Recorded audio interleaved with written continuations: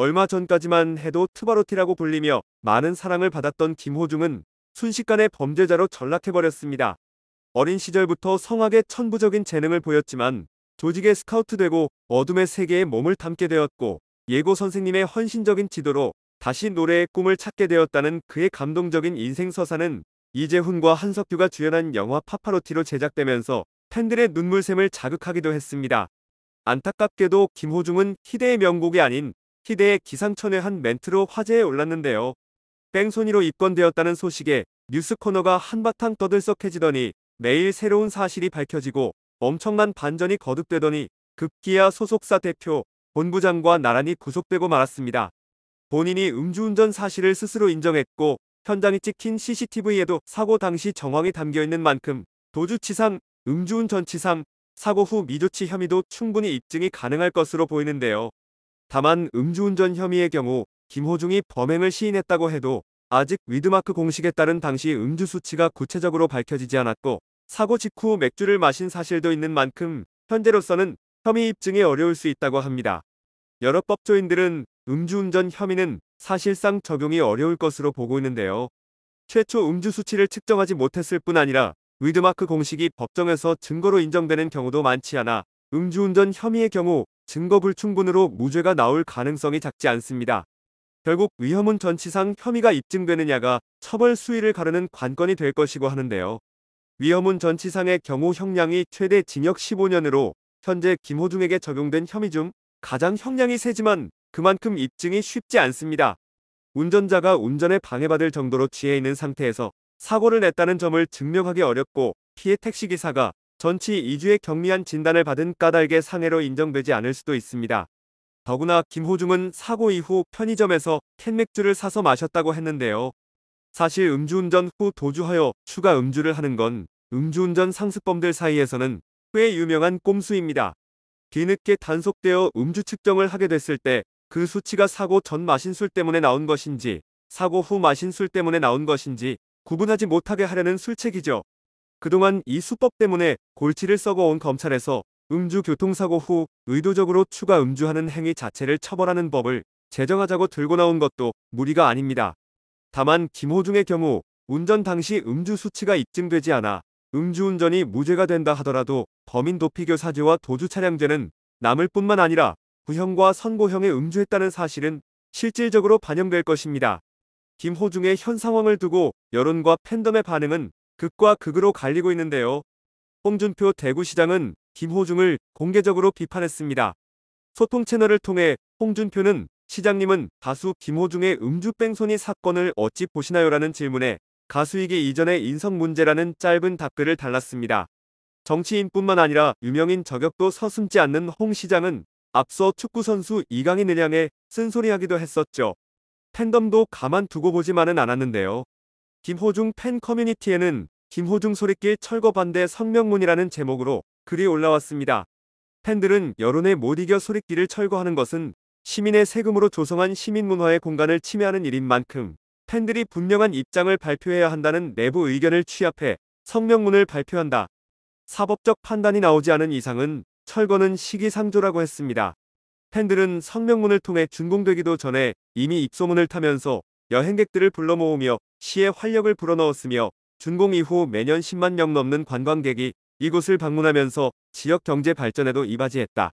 황량했던 골목길을 번 듯한 여행 명소로 둔갑시켰으며 곳곳에 숨은 관광 자원들을 찾아내 활력 넘치는 공간으로 만들어 나갔다고 주장했습니다. 팬들은 이처럼 김호중 소리길은 김천시의 대표적인 관광지로 자리매김한 만큼 철거는 시기상조라 생각하며 향후 재판을 통해 형이 확정된 이후에 논의해야 할 사안이라 판단된다고 강조했습니다. 또한 이재명 더불어민주당 대표, 조국 조국혁신당 대표 등을 언급하기도 했는데요. 팬들은 항소심에서 징역 2년 실형을 선고받고 국회의원의 출마 후 검찰 독재를 부르짖는 당선인 불체포 특권 포기 선언을 뒤집고 당의 부결을 읍소했던 당선인 4년 동안 단 한 차례의 검찰 소환 조사도 받지 않은 무소불위의 피의자. 이들 모두가 대한민국의 부끄러운 민낯이라며 법치국가에서 자신의 권리를 행사한다는 명목으로 국민을 기망하는 권력자들은 떳떳하게 살아가고 있는데 자기 잘못을 시인한 이후 반성하며 뉘우치고 있는 김호중에게만 이다지 가혹한 돌을 던지려 하는지 도무지 이해할 수 없다고 호소했습니다. 그런가 하면 김호중이 졸업한 김천예술고등학교의 전 교장은 가혹한 여론몰이로 사람을 없애려 든다며 김호중을 두둔했는데요.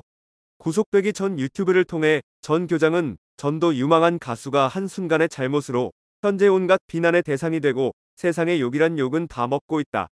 힘없는 가수의 잘못은 용납하지 못하면서 어째서 음주운전 전과를 비롯 온갖 비리 범법자 중 죄인인 정치인들에게는 그렇게 관대할 수 있는 것인지 그것에 비해 호중이를 욕하고 공격하는 부류와 언론 등의 의구심이 생겨 묻고자 함이라. 법은 만인 앞에 평등함인데 가혹한 여론몰이로 사람을 없애려 들다니 안타깝기 그지없다라고 호소했습니다. 이런 가운데 김호중이 졸업한 김천예고에서 운영 중인 쉼터에 관심이 쏠리고 있는데요. 트바로티 집이라는 이름으로 김호중을 기념해 만든 쉼터이기 때문입니다. 트바로티 집의 존치 여부에 대해 김천시 관계자는 학교 측의 학생 휴게시설 요청으로 지원된 것이라며 트바로티 집이라는 명칭은 학교 측에서 임의로 정했다고 밝혔습니다. 팬덤의 굳센 지지에 여론은 더더욱 나빠지고 있는 상황입니다. 그런가 하면 이번 김호중 사건으로 20여 년 만에 다시 구설수에 오른 인물도 있는데요. 바로 김창렬입니다.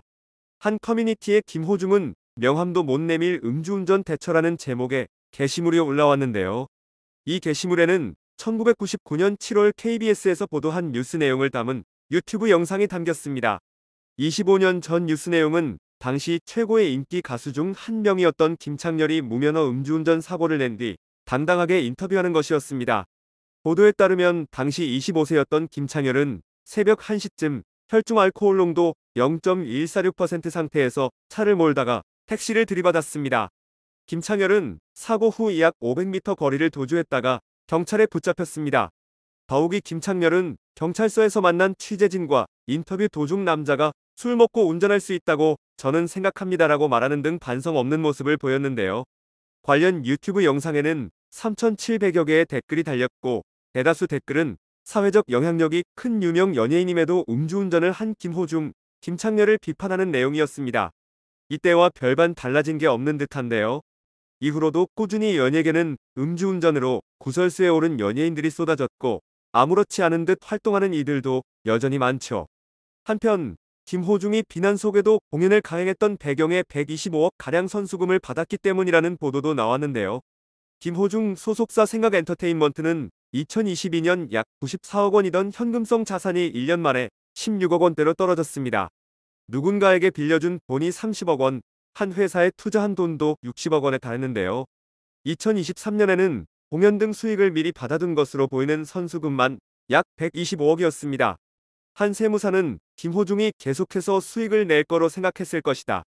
2023년에 돈을 그만큼 많이 썼을 것이라며 100억 원이 되는 선수금 즉 환불금을 환불해 줄 회사 재정이 상당히 힘들 것이다 라고 설명했습니다. 그리고 김호중의 소속사는 결국 27일 사실상 폐업 수순임을 밝혔죠. 결국 모든 것이 돈 때문에 벌어진 일인데요.